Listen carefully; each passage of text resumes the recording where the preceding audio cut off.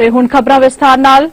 Mumbai bomb ਧਮਾਕਿਆਂ ਦੇ ਮੁੱਖ ਦੋਸ਼ੀ ਯਾਕੂਬ ਮੇਮਨ ਨੂੰ ਨਾਗਪੁਰ ਸੈਂਟਰਲ ਜੇਲ੍ਹ ਵਿੱਚ ਅੱਜ ਸਵੇਰੇ ਕਰੀਬ 6:30 ਵਜੇ ਫਾਂਸੀ ਦੇ ਦਿੱਤੀ ਗਈ। ਪੇਸ਼ ਇੱਕ ਰਿਪੋਰਟ।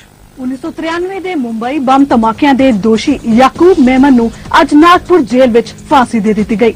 ਪਿਛਲੇ ਇੱਕ ਹਫ਼ਤੇ ਤੋਂ ਅਸਮੰਜਸ ਵਿੱਚ ਫਸੇ ਇਸ ਅਹਿਮ ਕੇਸ ਵਿੱਚ ਕੱਲ ਸੁਪਰੀਮ ਕੋਰਟ ਨੇ ਅੰਤਿਮ ਫੈਸਲਾ ਸੁਣਾਉਂਦਿਆਂ ਯਾਕੂਬ ਮੇਮਨ ਦੀ ਰਹਿਮ ਦੀ ਅਪੀਲ ਰੱਦ ਕਰ ਦਿੱਤੀ ਸੀ, ਜਿਸ ਉਪਰੰਤ ਮਹਾਰਾਸ਼ਟਰ ਦੇ ਰਾਜਪਾਲ ਨੇ ਵੀ ਯਾਕੂਬ ਨੂੰ ਕੋਈ ਰਾਹਤ ਨਾ ਦਿੰਦਿਆਂ ਉਸ ਦੀ ਰਹਿਮ ਦੀ ਦੂਜੀ ਅਪੀਲ ਵੀ ਖਾਰਜ ਕਰ ਦਿੱਤੀ ਸੀ। ਯਾਕੂਬ ਦੀ ਫਾਂਸੀ ਦੇ ਮੱਦੇਨਜ਼ਰ ਨਾਗਪੁਰ ਸੈਂਟਰਲ ਜੇਲ੍ਹ ਦੀ ਸੁਰੱਖਿਆ ਵਧਾ ਦਿੱਤੀ ਗਈ। 30 ਜੁਲਾਈ 1962 ਨੂੰ ਮੁੰਬਈ ਵਿੱਚ ਪੈਦਾ ਹੋਏ ਯਾਕੂਬ ਮੇਮਨ ਨੂੰ 30 ਜੁਲਾਈ 2015 ਨੂੰ ਠੀਕ ਉਸ ਦੇ ਜਨਮ ਵਾਲੇ ਦਿਨ ਫਾਂਸੀ ਦੇ ਦਿੱਤੀ ਗਈ। ਜ਼ਿਕਰ ਖਾਸ ਹੈ ਕਿ ਯਾਕੂਬ ਮੇਮਨ 1993 ਵਿੱਚ ਮੁੰਬਈ ਵਿੱਚ ਹੋਏ ਸਿਲਸਿਲੇਵਾਰ 12 ਬੰਬ ਧਮਾਕਿਆਂ ਦਾ ਦੋਸ਼ੀ ਹੈ। ਜਿਨ੍ਹਾਂ ਵਿੱਚ 257 ਨਿਰਦੋਸ਼ ਲੋਕ ਮਾਰੇ ਗਏ ਸਨ ਤੇ 700 ਦੇ ਕਰੀਬ ਲੋਕ ਜ਼ਖਮੀ ਹੋਏ ਸਨ। ਅਦਾਲਤ ਨੇ ਇਸ ਮਾਮਲੇ ਵਿੱਚ 12 ਵਿਅਕਤੀਆਂ ਨੂੰ ਦੋਸ਼ੀ ਕਰਾਰ ਦਿੱਤਾ ਸੀ, ਜਿਨ੍ਹਾਂ ਵਿੱਚ ਪੇਸ਼ੇ ਵਜੋਂ ਚਾਰਟਰਡ ਅਕਾਊਂਟੈਂਟ ਦਾ ਕੰਮ ਕਰਨ ਵਾਲਾ ਯਾਕੂਬ ਮੈਮਨ ਤੇ ਉਸ ਦਾ ਭਰਾ ਟਾਈਗਰ ਮੈਮਨ ਸ਼ਾਮਿਲ ਸਨ। ਯਾਕੂਬ ਮੇਮਨ ਤੇ ਧਮਾਕਿਆਂ ਦੀ ਸਾਜ਼ਿਸ਼ ਵਿੱਚ ਸ਼ਾਮਿਲ ਹੋਣ ਤੋਂ ਬਿਨਾਂ ਵਾਰਦਾਤ ਲਈ ਵਰਤੀਆਂ ਗਈਆਂ ਗੱਡੀਆਂ ਤੇ ਵਿਸਫੋਟਕਾਂ ਨਾਲ ਲੈਸ ਵਾਹਨਾਂ ਨੂੰ ਦੱਸੀਆਂ ਗਈਆਂ ਥਾਵਾਂ ਤੇ ਖੜਾ ਕਰਨ ਦੇ ਦੋਸ਼ ਲੱਗੇ ਸਨ। ਇਸ ਤੋਂ ਇਲਾਵਾ ਯਾਕੂਬ ਆਪਣੇ ਭਰਾ ਟਾਈਗਰ ਮੇਮਨ, ਜੋ ਅਜੇ ਵੀ ਪੁਲਿਸ ਦੀ ਪਹੁੰਚ ਤੋਂ ਬਾਹਰ ਹੈ, ਲਈ ਗੈਰ ਕਾਨੂੰਨੀ ਫੰਡਿੰਗ ਦਾ ਕੰਮ ਕਰਦਾ ਸੀ। ਕਿਹਾ ਜਾਂਦਾ ਹੈ ਕਿ ਯਾਕੂਬ ਮੇਮਨ ਨੇ 28 ਜੁਲਾਈ 1994 ਨੂੰ ਨੇਪਾਲ ਪੁਲਿਸ ਅੱਗੇ ਸਰੈਂਡਰ ਕੀਤਾ ਸੀ। ਪਰ ਭਾਰਤੀ ਸੁਰੱਖਿਆ ਏਜੰਸੀ ਦੇ ਅਧਿਕਾਰੀਆਂ ਮੁਤਾਬਿਕ ਯਾਕੂਬ ਮਹਿਮਨ ਨੂੰ 5 ਅਗਸਤ 1994 ਨੂੰ ਨਵੀਂ ਦਿੱਲੀ ਰੇਲਵੇ ਸਟੇਸ਼ਨ ਤੋਂ ਗ੍ਰਿਫਤਾਰ ਕੀਤਾ ਗਿਆ। ਯਾਕੂਬ ਤੇ ਲੱਗੇ ਦੋਸ਼ਾਂ ਦੀ ਸੁਣਵਾਈ ਕਰਦਿਆਂ ਟਾਡਾ ਅਦਾਲਤ ਨੇ ਜੱਜ ਪੀਡੀ ਕੋਡੇ ਨੇ ਯਾਕੂਬ ਨੂੰ ਚਾਰ ਵੱਡੇ ਦੋਸ਼ਾਂ ਤਹਿਤ ਦੋਸ਼ੀ ਕਰਾਰ ਦਿੰਦਿਆਂ ਫਾਂਸੀ ਦੀ ਸਜ਼ਾ ਸੁਣਾਈ। ਯਾਕੂਬ ਮੇਮਨ ਫਾਂਸੀ ਦੀ ਸਜ਼ਾ ਸੁਣਾਈ ਜਾਣ ਤੋਂ ਲੈ ਕੇ ਹੁਣ ਤੱਕ ਨਾਗਪੁਰ ਦੀ ਜੇਲ੍ਹ ਵਿੱਚ ਬੰਦ ਸੀ, ਜਿੱਥੇ ਉਸਨੇ ਆਪਣੀ ਫਾਂਸੀ ਦੀ ਸਜ਼ਾ ਵਿਰੁੱਧ ਅਪੀਲ 21 ਮਾਰਚ 2013 ਨੂੰ ਸੁਪਰੀਮ ਕੋਰਟ ਵਿੱਚ ਦਾਖਲ ਕੀਤੀ, ਜਿਸ ਨੂੰ ਖਾਰਜ ਕਰ ਦਿੱਤਾ ਗਿਆ। ਇਸ ਉਪਰੰਤ ਯਾਕੂਬ ਮਹਿਮਨ ਨੇ ਕਾਨੂੰਨੀ ਹੱਥਕੰਡਾ ਵਰਤਦਿਆਂ ਰਿਵਿਊ ਪਟੀਸ਼ਨ ਦਾਖਲ ਕੀਤੀ। ਪਰ ਉਸ ਤੇ ਲੱਗੇ ਦੋਸ਼ਾਂ ਦੀ ਗੰਭੀਰਤਾ ਨੂੰ ਵੇਖਦਿਆਂ ਜੱਜ ਪੀ ਸਥਾ ਸ਼ਿਵਮ ਦੀ ਅਗਵਾਈ ਵਾਲੀ ਬੈਂਚ ਨੇ ਉਸ ਨੂੰ ਰਾਹਤ ਦੇਣ ਤੋਂ ਇਨਕਾਰ ਕਰਦਿਆਂ 30 ਜੁਲਾਈ 2013 ਨੂੰ ਉਸ ਦੀ ਫਾਂਸੀ ਦੀ ਸਜ਼ਾ ਤੇ ਮੋਹਰ ਲਾ ਦਿੱਤੀ। ਭਾਰਤ ਦੇ ਰਾਸ਼ਟਰਪਤੀ ਸ਼੍ਰੀ ਪ੍ਰਣਬ ਮੁਖਰਜੀ ਨੇ ਵੀ 11 ਅਪ੍ਰੈਲ 2013 ਨੂੰ ਸੁਪਰੀਮ ਕੋਰਟ ਦੇ ਫੈਸਲੇ ਦੀ ਤਰਜ਼ ਤੇ ਯਾਕੂਬ ਵੱਲੋਂ ਭੇਜੀ ਗਈ ਮਾਫੀ ਦੀ ਅਪੀਲ ਵੀ ਖਾਰਜ ਕਰ ਦਿੱਤੀ। ਹੁਣ ਯਾਕੂਬ ਮੈਮਨ ਲਈ ਬਚਾਅ ਦੇ ਰਸਤੇ ਲਗਭਗ ਬੰਦ ਹੋ ਗਏ ਸਨ। ਸੋ 9 ਅਪ੍ਰੈਲ 2015 ਨੂੰ ਸੁਪਰੀਮ ਕੋਰਟ ਨੇ ਰਿਵਿਊ ਪਟੀਸ਼ਨ ਖਾਰਜ ਕਰਨ ਦਾ ਐਲਾਨ ਕੀਤਾ। ਭਾਰਤੀ ਸੰਵਿਧਾਨ ਮੁਤਾਬਿਕ ਉਕਤ ਹੀਲੇ ਵਸੀਲੇ ਫੇਲ ਹੋਣ ਮਗਰੋਂ ਕਿਊਰੇਟਿਵ ਪਟੀਸ਼ਨ ਦਾਖਲ ਕਰਨ ਦਾ ਅਧਿਕਾਰ ਰੱਖਦਾ ਹੈ। ਸੋ ਯਾਕੂਬ ਮੇਮਨ ਨੇ ਇਸੇ ਸਾਲ ਕਿਊਰੇਟਿਵ ਪਟੀਸ਼ਨ ਦਾਖਲ ਕੀਤੀ, ਜੋ 21 ਜੁਲਾਈ 2015 ਨੂੰ ਰੱਦ ਹੋ ਗਈ। ਉਧਰ ਮਹਾਰਾਸ਼ਟਰ ਸਰਕਾਰ ਨੇ ਯਾਕੂਬ ਮੇਮਨ ਦੇ ਡੈਥ ਵਾਰੰਟ ਜਾਰੀ ਕਰ ਦਿੱਤੇ ਸਨ, ਜਿਨ੍ਹਾਂ 'ਚ ਉਸ ਦੀ ਫਾਂਸੀ ਦੀ ਤਾਰੀਖ 30 ਜੁਲਾਈ ਤੈਅ ਕੀਤੀ ਗਈ। ਤੇ ਕੱਲ ਸੁਪਰੀਮ ਕੋਰਟ ਨੇ ਉਸ ਦੀਆਂ ਸਾਰੀਆਂ ਪਟੀਸ਼ਨਾਂ ਨੂੰ ਖਾਰਜ ਕਰਦਿਆਂ ਟਾਡਾ ਅਦਾਲਤ ਦੇ ਫੈਸਲੇ ਨੂੰ ਸਹੀ ਠਹਿਰਾਇਆ। ਯਾਕੂਬ ਮੈਮਨ ਵੱਲੋਂ ਰਾਸ਼ਟਰਪਤੀ ਨੂੰ ਭੇਜੀ ਗਈ ਨਵੀਂ ਰਹਿਮ ਦੀ ਅਪੀਲ ਵੀ ਖਾਰਜ ਕਰ ਦਿੱਤੀ ਗਈ ਤੇ ਨਿਯਤ ਸਮੇਂ ਤੇ ਫਾਂਸੀ ਦੇਣ ਦਾ ਹੁਕਮ ਸੁਣਾਇਆ ਗਿਆ। ਜਿਸ ਦੀ ਤਾਮੀਲ ਕਰਦਿਆਂ 257 ਲੋਕਾਂ ਦੇ ਗੁਨਾਹਗਾਰ ਯਾਕੂਬ ਮੇਮਨ ਨੂੰ ਅੱਜ ਫਾਂਸੀ ਦੇ ਦਿੱਤੀ ਗਈ।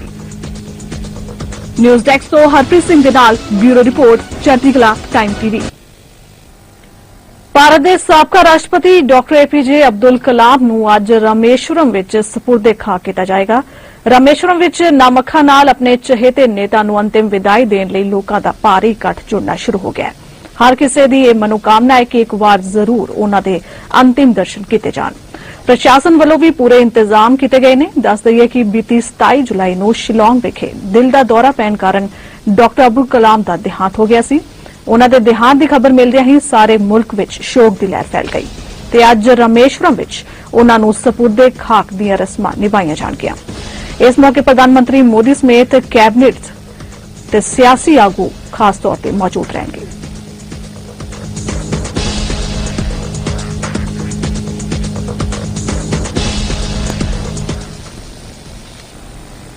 ਪੰਜਾਬ ਦੇ ਮੁੱਖ ਮੰਤਰੀ ਪ੍ਰਕਾਸ਼ ਸਿੰਘ ਬਾਦਲ ਦੀਨਾਨਗਰ 'ਚ ਹੋਏ ਹਮਲੇ 'ਚ ਸ਼ਹੀਦ ਹੋਏ ਪਠਾਨਕੋਟ ਦੇ ਤਿੰਨ ਪੁਲਿਸ ਜਵਾਨਾਂ ਦੇ ਪਰਿਵਾਰਕ ਮੈਂਬਰਾਂ ਨਾਲ ਅਫਸੋਸ ਪ੍ਰਗਟ ਕਰਨ ਪਹੁੰਚੇ।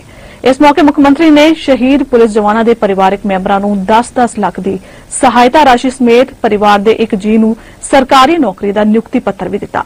ਇਸ ਮੌਕੇ ਪੱਤਰਕਾਰਾਂ ਨਾਲ ਗੱਲਬਾਤ ਕਰਦਿਆਂ ਮੁੱਖ ਮੰਤਰੀ ਨੇ ਕਿਹਾ ਕਿ ਆਤਵਾਦ ਦੇ ਖਿਲਾਫ ਲੜਾਈ ਪੂਰੇ ਦੇਸ਼ ਦੀ ਲੜਾਈ ਹੈ। ਉਹਨਾਂ ਕਿਹਾ ਕਿ ਪੁਲਿਸ ਨੂੰ ਅਤੀ ਆਧੁਨਿਕ ਹਥਿਆਰ ਮੁਹੱਈਆ ਕਰਾਉਣ ਦੇ ਮਾਮਲੇ ਤੇ ਪੁੱਛੇ ਗਏ ਸਵਾਲ ਦੇ ਜਵਾਬ ਵਿੱਚ ਉਹਨਾਂ ਕਿਹਾ ਕਿ ਅਜਿਹੀਆਂ ਕਮੀਆਂ ਜਲਦ ਦੂਰ ਕੀਤੀਆਂ ਜਾਣਗੀਆਂ। ਨੇਸ਼ਨ ਦੀ ਲੜਾਈ ਹੈ, ਸਾਰੀ ਨੇਸ਼ਨ ਲੜ ਰਹੀ ਹੈ। ਦੇਸ਼ ਦੀ ਗਵਰਨਮੈਂਟ ਵੀ ਲੜ ਰਹੀ ਹੈ, ਸੂਬੇ ਦੀ ਲੜ ਰਹੀ ਹੈ। ਲੇਕਿਨ ਮੈਂ, ਮੇਰੇ ਕੋਲ ਯੋਗ ਲਫ਼ਜ਼ ਨਹੀਂ। ਜਿਨ੍ਹਾਂ ਨਾਲ ਮੈਂ ਪੁਲਿਸ ਦਾ ਦੀ ਉਹਨਾਂ ਨੂੰ ਸ਼ਾਬਾਸ਼ ਦਿਨਾ ਕਿ ਉਹਨਾਂ ਨੇ ਬਹੁਤ ਵੱਡੇ ਕੁਰਬਾਨੀ ਨਾਲ ਇੱਕ ਬਹੁਤ ਵੱਡੀ ਟ੍ਰੈਜੇਡੀ ਨੂੰ ਉਠਾਇਆ 13 14 ਸਾਲਾਂ ਬਾਅਦ ਇਹ ਇਨਸੀਡੈਂਟ ਹੋਇਆ। ਉਹ ਇਨਸੀਡੈਂਟ ਹੁੰਦਾ ਉਹ ਤੋਂ ਬੰਦਾ ਸਭ ਕੁਝ ਸਿੱਖਦਾ ਹੁਣ ਜਿਹੜੀਆਂ ਕਮੀਆਂ ਹੋਣਗੀਆਂ ਦੂਰ ਕਰਾਂਗੇ, ਜਿਹਦੇ ਨਾਲ ਆਪਾਂ ਆਪਣਾ ਹੋਰ ਅੱਛਾ ਕੰਮ ਹੋ ਸਕਦਾ ਪੰਜਾਬ ਦੀਆਂ ਜੇਲ੍ਹਾਂ ਵਿੱਚ ਬੰਦ ਕੈਦੀਆਂ ਅਤੇ ਹਵਾਲਾਤੀਆਂ ਨੂੰ ਮਿਲਣ ਲਈ ਉਹਨਾਂ ਦੇ ਸਗੇ ਸੰਬੰਧੀਆਂ ਨੂੰ ਹੁਣ ਆਪਣੀ ਵਾਰੀ ਦੀ ਉਡੀਕ ਲਈ ਲੰਮੀਆਂ ਕਤਾਰਾਂ ਵਿੱਚ ਨਹੀਂ ਲੱਗਣਾ ਪਏਗਾ। ਸਰਕਾਰ ਵੱਲੋਂ ਲਏ ਗਏ ਇੱਕ ਅਹਿਮ ਫੈਸਲੇ ਵਿੱਚ ਕੈਦੀਆਂ ਅਤੇ ਹਵਾਲਾਤੀਆਂ ਦੇ ਰਿਸ਼ਤੇਦਾਰ ਹੁਣ ਆਨਲਾਈਨ ਰਜਿਸਟ੍ਰੇਸ਼ਨ ਕਰਵਾ ਕੇ ਮਿਲਣ ਦਾ ਸਮਾਂ ਲੈ ਸਕਣਗੇ। ਉੱਥੇ ਹੀ ਇਸ ਫੈਸਲੇ ਦਾ ਆਮ ਲੋਕਾਂ ਵੱਲੋਂ ਵੀ ਸਵਾਗਤ ਕੀਤਾ ਗਿਆ ਹੈ। ਇਸ ਸੰਬੰਧੀ ਜਾਣਕਾਰੀ ਦਿੰਦਿਆਂ ਡੀਐਸਪੀ ਸਬ ਜੇਲ੍ਹ ਦਸੂਹਾ ਨੇ ਦੱਸਿਆ ਕਿ ਇਹ ਫੈਸਲਾ ਆਮ ਲੋਕਾਂ ਦੀ ਹੁੰਦੀ ਖੱਜਲ ਖੁਆਰੀ ਤੋਂ ਰੋਕਣ ਲਈ ਲਿਆ ਗਿਆ ਇਸ ਲਈ ਸਿਰਫ ਕਿਸੇ ਵੀ ਜਗ੍ਹਾ ਤੋਂ ਆਪਣੇ ਕਿਸੇ ਵੀ ਪਹਿਚਾਣ ਪੱਤਰ ਦਿਖਾ ਕੇ ਮਿਲਣ ਲਈ www.eprison.nic.in ਤੇ ਲੌਗਇਨ ਕਰਕੇ ਦਿੱਤੇ ਗਏ ਆਨਲਾਈਨ ਫਾਰਮ ਭਰ ਕੇ ਮਿਲਣ ਦਾ ਸਮਾਂ ਲੈ ਸਕਦੇ ਨੇ। ਤੇ ਉਹਦਾ ਸਮਾਂ ਲੈ ਸਕਦੇ ਨੇ। ਜਿਹੜਾ ਵੀ ਸਮਾਂ ਆਪਾਂ ਦਵਾਂਗੇ ਉਸ ਉਸ ਡੇਟ ਤੇ ਆ ਕੇ ਆਪਣੇ ਜੋ ਵੀ ਉਹਨਾਂ ਦਾ ਇੱਥੇ ਅੰਦਰ ਹੈਗਾ ਬਸ ਸਾਥ ਸੰਬੰਧੀ ਹੈਗਾ ਜੇਲ੍ਹ ਦੇ ਵਿੱਚ ਬੰਦ ਹੈ ਉਹਨੂੰ ਮਿਲ ਸਕਦੇ ਆ। ਸਮਾਣਾ ਦੇ ਪਿੰਡ ਕੁਲਬੁਰਚਾ ਵਿਖੇ ਇੱਕ ਲੜਕੀ ਨੂੰ ਅਗਵਾ ਕਰਕੇ ਉਸ ਨਾਲ ਜਬਰ ਜਨਾਹ ਕਰਨ ਦਾ ਮਾਮਲਾ ਸਾਹਮਣੇ ਆਇਆ ਹੈ। ਪੀੜਿਤ ਲੜਕੀ ਦੇ ਬਿਆਨਾਂ ਦੇ ਆਧਾਰ ਤੇ ਪੁਲਿਸ ਨੇ ਇਸ ਮਾਮਲੇ ਵਿੱਚ ਕੁੱਲ 5 ਵਿਅਕਤੀਆਂ ਖਿਲਾਫ ਮਾਮਲਾ ਦਰਜ ਕੀਤਾ ਹੈ। ਫਿਲਹਾਲ ਸਾਰੇ ਆਰੋਪੀ ਫਰਾਰ ਦੱਸੇ ਜਾ ਰਹੇ ਨੇ ਜਿਨ੍ਹਾਂ ਦੀ ਭਾਲ ਜਾਰੀ ਹੈ। ਜਦੋਂ ਮੈਨੂੰ ਥੋੜਾ ਹੋਸ਼ ਆਇਆ ਤਾਂ ਮੈਨੂੰ ਤਿੰਨ ਬੰਦਿਆਂ ਦੀ ਪਛਾਣ ਆਈ। ਉਹ ਮੇਰੇ ਪਿੰਡ ਦੇ ਸੀਗੇ।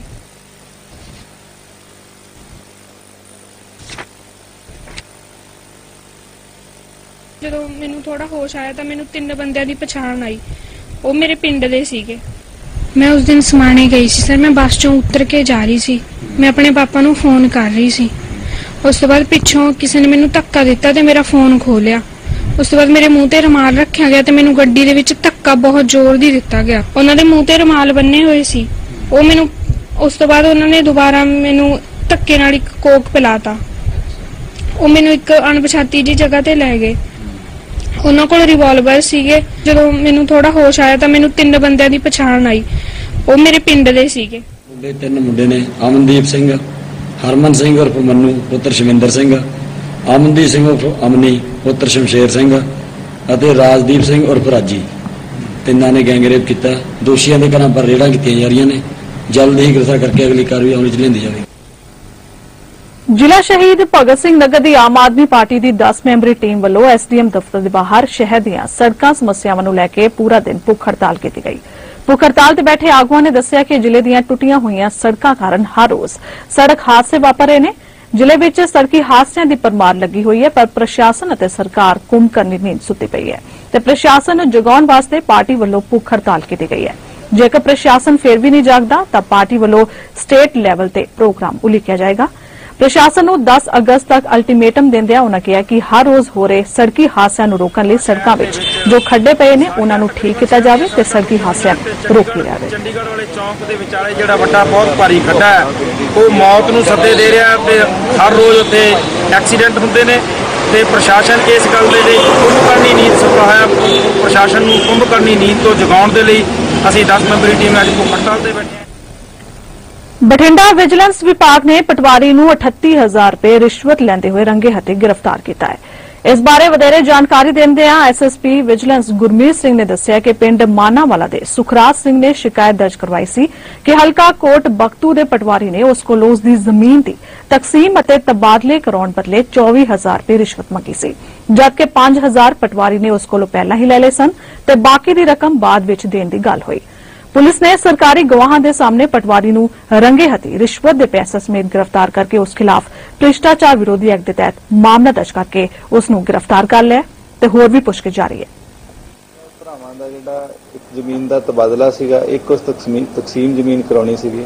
ਉਹਦੇ ਲਈ ਇਹਦੇ ਕੋਲ ਪੈਂਡਿੰਗ ਸੀਗਾ ਸਾਰਾ ਕੇਸ ਤੇ ਉਹਨਾਂ ਨੂੰ ਕਾਫੀ ਦੇਰ ਤੋਂ ਖਰਾਬ ਕਰ ਰਿਹਾ ਸੀਗਾ ਤੇ ਕਰਦੇ ਕਰਾਉਂਦੇ, ਉਹਨਾਂ ਤੋਂ ਪੈਸੇ ਮੰਗਦਾ ਸੀ ਜ਼ਿਆਦਾ, ਫਿਰ ਉਹਨਾਂ ਨੇ 24000 ਦੇ ਵਿੱਚ ਇਹਦੇ ਨਾਲ ਗੱਲ ਟੁਕਲੀ ਵੀ ਸਾਡਾ ਤਕਸੀਮ ਕਰ ਦੇ, ਤਾਂ 24000 ਰੁਪਏ ਤੁਹਾਨੂੰ ਦੇ ਦਾਂਗੇ। ਸਨ ਮੌਕੇ ਤੇ ਜਿਹੜੀ ਡਿਮਾਂਡ ਕਰਤੀ ਵੀ ਜਿਹੜਾ 19000 ਹੋਰ ਦੇ ਦਿਓ, ਜਿਹੜਾ ਤਬਾਦਲੇ ਦਾ ਜਿਹੜਾ ਕਰਾਉਣਾ ਤੋਂ।